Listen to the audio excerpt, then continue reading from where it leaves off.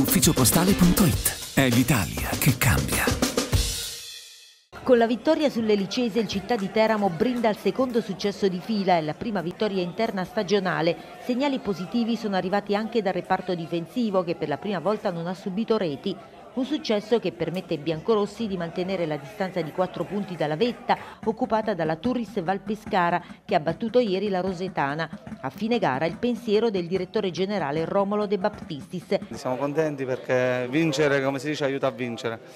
Eh, noi in questo momento abbiamo bisogno di vincere, quindi una vittoria che sicuramente eh, farà morale, farà, farà stare bene la squadra. Eh, come dico sempre non, non, andiamo a guardare oltre, già pensiamo a domenica senza pensare a poi quello che sarà. Eh, dobbiamo fare un passo alla volta, questo sicuro.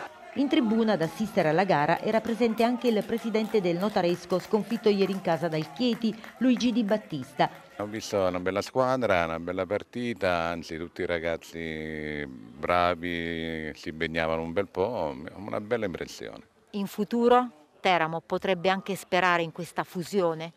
È un po' difficile perché ho fatto già una promessa. È difficile dirlo ora? No, no, no, ti posso quasi garantire che almeno per tre anni ho dato, starò con Notaresco.